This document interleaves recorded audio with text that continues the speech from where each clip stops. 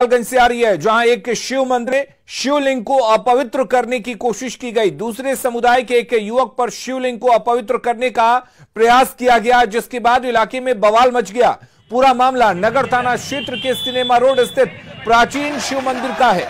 Police ने आरोपी युवक को गिरफ़्तार कर लिया है। उधर घटना के विरोध में विद्यार्थी परिषद के छात्रों ने सड़क को जाम कर दिया और पुलिस के खिलाफ आगजनी कर नारेबाजी की।